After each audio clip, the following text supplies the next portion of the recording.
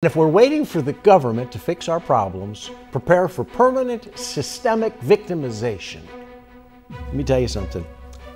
Underdogs must fight harder, fight longer, fight smarter, and not succumb to a victim mentality.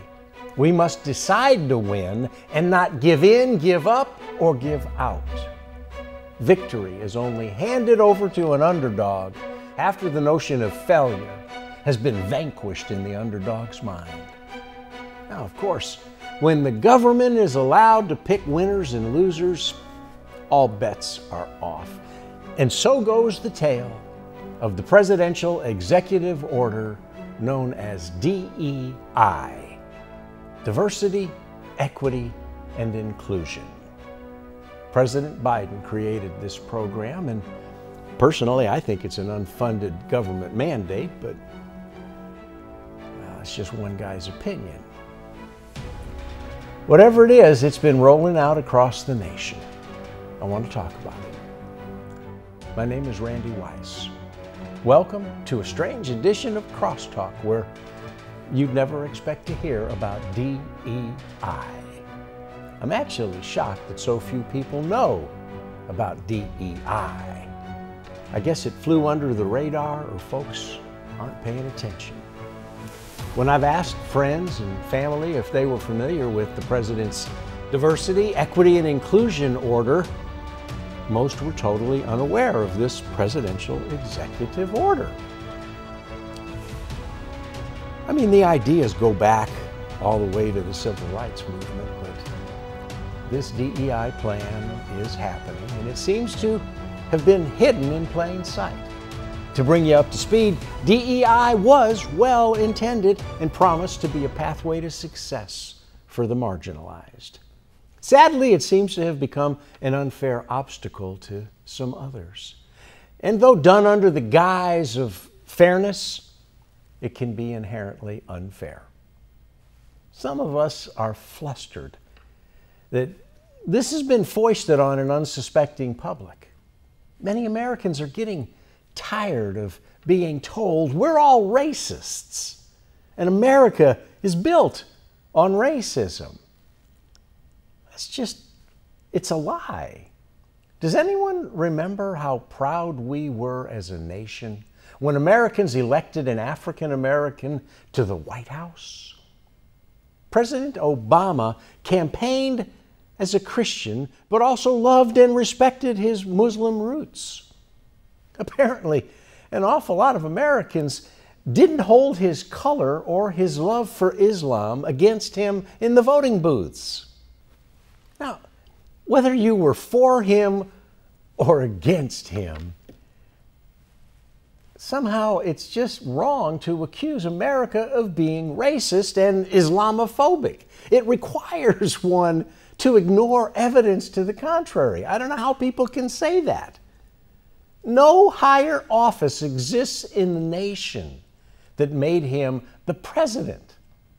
Still, DEI has come to companies, colleges, and universities nationwide to make America more tolerant, less racist, less misogynistic, less homophobic, and less Islamophobic. We got all kinds of phobias that they're accusing us of. There's a reason this stuff is getting old and the rhetoric is wearing thin on many Americans. I am not a racist. A lot of us are tired of such ugly false accusations. We're tired of politicians using these tropes to guilt us into allowing Washington to walk all over us and insult our intelligence. Let's get to the point of DEI.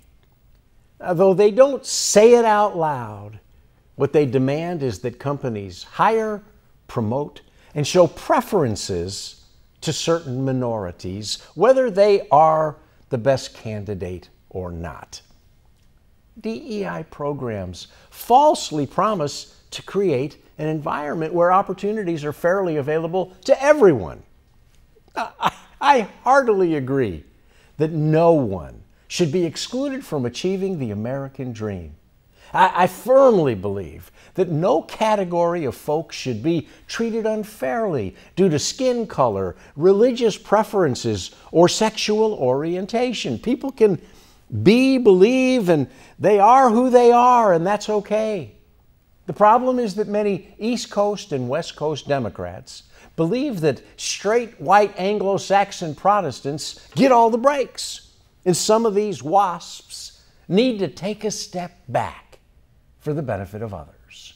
Now, if you happen to be a highly qualified, straight white Christian fella climbing the same ladder, you might not want to be held back because of newly minted unfair preferences shown to people of color or sexual orientation or religion as a reverse discrimination. Gays are suddenly not only protected, they're also preferred in some cases. Christians have begun to feel that their faith is a hindrance because atheists or Muslims are preferred, regardless of merit, skill, or experience. By the way, I, I find it fascinating that the only minority locked out of these DEI preferences are Jews. Why is it that we aren't considered a minority worthy of these very beneficial government mandated programs? We comprise only two tenths of 1% of the people. In other words, 99.98% of the world population is non Jewish. How much smaller of a minority do we need to be to stop being accused of trying to take over the world? I don't get it. Why is racism and bigotry against Jews the only type of discrimination permitted by progressive liberal politicians and most universities. It's because nobody stops them, and they continue to get away with their institutionalized hypocrisy. Look, I get it. Everyone wants a fair shot. And if you are in one of the approved protected categories and you feel you've been overlooked, you might support the DEI agenda. However, preferred has nothing to do with being qualified. And when DC levels the playing field, some better qualified people can get bulldozed. Many Americans are struggling. The economy has put large numbers of people behind the eight ball. We do have marginalized people. Some folks do need a hand up. But roadblocks to productivity are also damaging America. DEI, our president's executive order about diversity, equity, and inclusion, is an impediment to excellence. And we should not exchange excellence for tolerance, especially just to be sacrificed on the altar of protecting everyone's goofball choices. I vote that we stop politicians from buying more votes from minorities, morons, and mama's boys who've never been pushed to perform to the highest levels to which they are capable. Now, I am all for not discriminating against honorable people who look different, who hold different views, who act different, but I'm definitely opposed to ignoring merit or penalizing quality people simply because they don't fit the government's view of who is deserving of extra credit. There, there's an old saying you can't keep a good man down. In other words, eventually the cream is going to rise to the top. However, pushing good people down to pull less meritorious workers up is counterproductive. And America needs to become more productive, not more touchy feely. Those who currently lack success need to learn to become less dependent on the government. Listen, with all the best intentions, Washington will never elevate a poor person into wealth. It will merely teach him to blame the other party for his poverty. Unless you are a government official or your nest has already been comfortably feathered while you were nestled in your favorite government official's pocket, you can be certain that the government can only reduce someone else's wealth, and it will always protect its own. It's not going to protect your wealth, it will take it if it can. Now, if you are one who is skilled at justifying your failures through excuses about race, religion, or alternative lifestyles, perhaps it's time for a little self reflection. Personally, I hate sports analogies because I don't follow sports.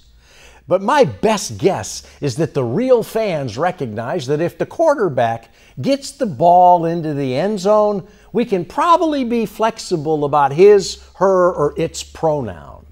But if his passes are regularly intercepted and he keeps fumbling the ball, it ain't his religion or his skin color that got him benched.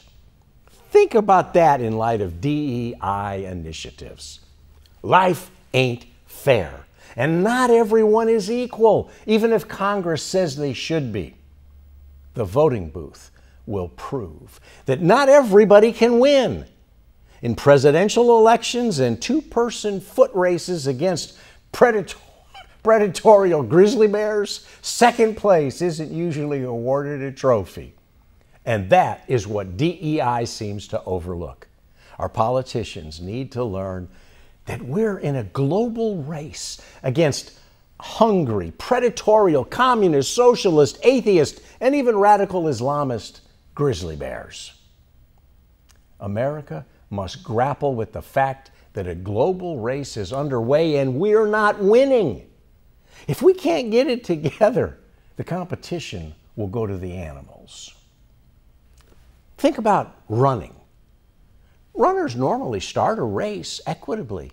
Yet, regardless of how one starts a race, it's how one runs a race that determines the outcome. Only a politician could forget that some people are just naturally faster, or they have trained harder, or they are more determined to win than those who don't. It must also be recognized that some people are born with handicaps.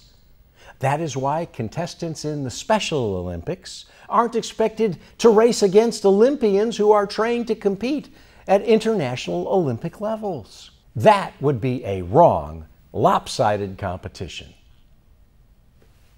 just as it would be futile to expect me to compete in the PGA. Now, I'm pretty fair at putt putt. In fact, I kind of look like Tiger Woods when I play against my youngest grandkids, but I can't hit a golf ball off the tee. It wouldn't matter how high the handicap I was granted, I don't golf. By the way, some people handicap themselves. Then they can't understand why the government won't force everyone else to overlook their handicap. For example, if you want to compete for jobs in finance, banking, or mergers and acquisitions, you might find yourself handicapped if you've covered your social media pages with socialist propaganda, you covered your face with demonic tattoos, dyed your hair into a rainbow, filled your ears with softball sized gauges, or stretch your lips like a Ubangi. You may even identify as a binary billionaire, but if you're a broke, uneducated jerk living in your mother's basement, don't expect to get that big job in finance because of your skin color, your sexual preference, or you stomp your feet and tell your congressman that life isn't fair. Dude, Life is unfair, and Congress shouldn't be expected to fix your dumb life choices. Look, I understand the appeal of DEI to people who are more interested in their pronoun than their work ethic. Any new government promise that gives you something at someone else's expense probably sounds good to you.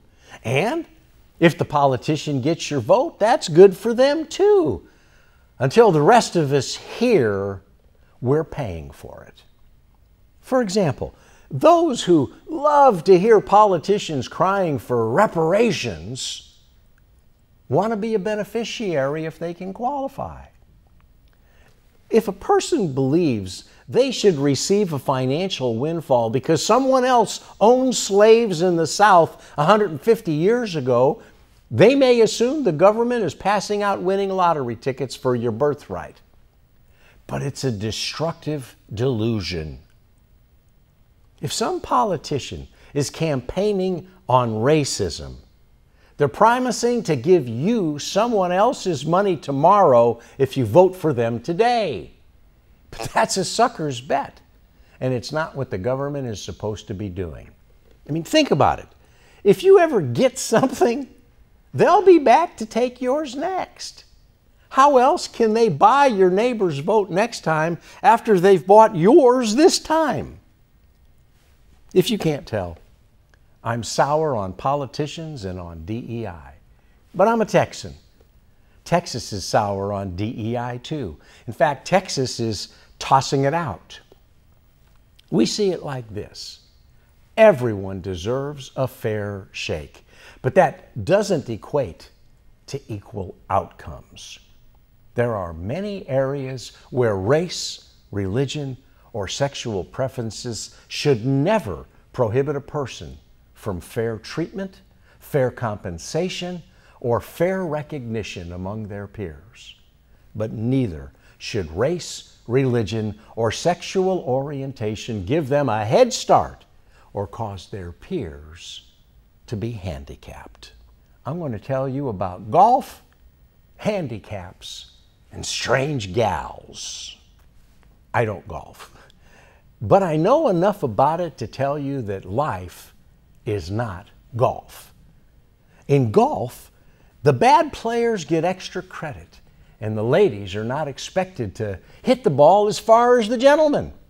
The ladies even get their own tee location that's closer to the hole. Well, I probably should clarify that. Um, and I probably should be careful. I'm not sure I should have said this, but I'm kind of taking this as a sign. I don't golf. I haven't touched a white golf ball in 40 years. I've touched some red and yellow ones at the putt putt. But as I was coming here to the studio, this was sitting on my lawn. no idea how it got there, but I'm going to say it's a sign, and I'm going to say what I was going to say that I thought maybe I shouldn't say. We now live in a nation that allows fellas to pretend to be gals so they can compete against gals. Now, personally, I'm looking forward to see how the women's PGA is going to handle it when one of these confused gal fellas demands to use the ladies' tee with more than one ball.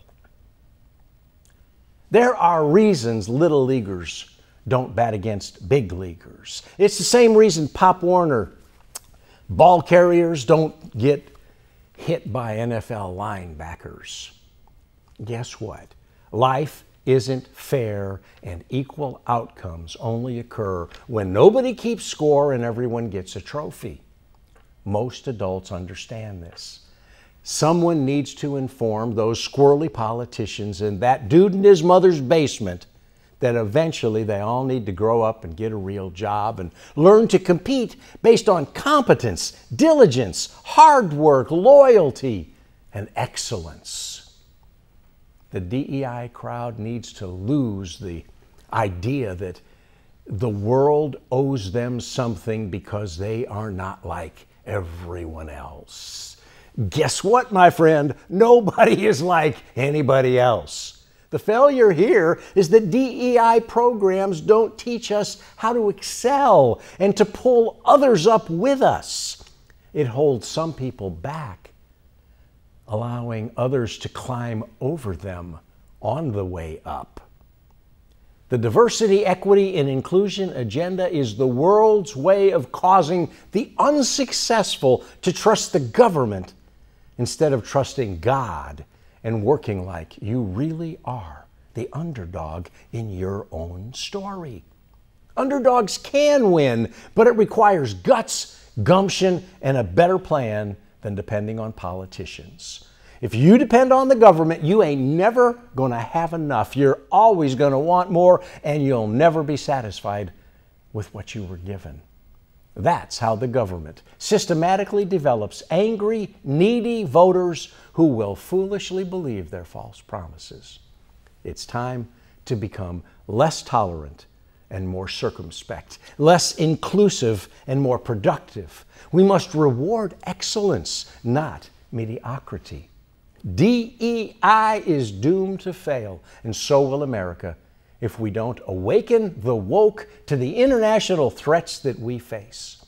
It's time to disable the progressive liberals before they disembowel a great nation. Now, I'll be the first in line to rail against a system that wrongly shoves people to the back of the bus. Nobody likes being relegated to the end of the line. Ask a person going through the legal immigration process how it feels to watch illegal aliens being rewarded with special privileges as they're pushed through in front of everyone else. Ask them how it feels to be bumped back yet lumped in and stereotyped with those illegals who commit heinous crimes. Honest folks, well, they know that we'll all ultimately pay for the massive amount of damage that's been caused by the border crisis. Many legal aliens understand the chaos that has been created by foolish liberal politicians who ignore the rule of law. Legal immigrants love America much more than many of the progressives elected to Congress. I wish loving America and being a patriot was a requirement for public office. But it's not. You can look at Congress and see it. To anyone who has been treated unfairly, I do have a message for you. If you have suffered betrayal or if you've been mistreated, it is unlikely that the government is going to help you. They may make promises, but the cavalry only rides in with hoofs pounding, trumpets sounding, and guns blazing in old Western movies. And the people of color were generally wiped out when they showed up. Here's a thought from the Bible the outcomes won't be equal for everyone. So don't expect the government to do better than heaven. Jesus is the foundation upon which Christians build their lives, but how we build and the works we do will define our just rewards. We all build something. At the judgment, it will be clear if we built using lasting, durable materials or temporary combustibles. Are your works precious or meaningless? Are they gold, silver, precious stones? Or are they built of wood, hay? One translation says stubble because those are the things that are going to get burned up. The Bible says each one's work will become clear. On the judgment day, fire will reveal what kind of work each builder has done. The fire will show if a person's work has any value. If the work survives, that builder will receive a reward. But if the work is burned up, the builder will suffer great loss. The builder will be saved. But like someone barely escaping through a wall of flames, sort of like one says they, they are saved by the skin of their teeth. To such a person, their salvation is safe in the finished work of Jesus at the cross. Their rewards, however, are dependable on how they managed their lives, their time, their resources, and even their giftings. The point is that not even heaven rewards everyone equally. Our works will be tested by heaven and judged for their value. Our rewards will also be distributed accordingly. By the way, hell will likely also have its own grading system too. If you are there, tell your progressive liberal congresswoman how you feel. She'll understand. By the way, be sure to tell the devil personally if you feel you've been mistreated. Even he deserves a good laugh.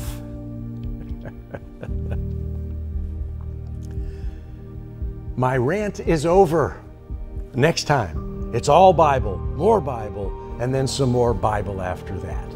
Until then, my name is Randy Weiss. This is Crosstalk, and I'll never get a show opposite any CNN, Fox, or PBS news outlet.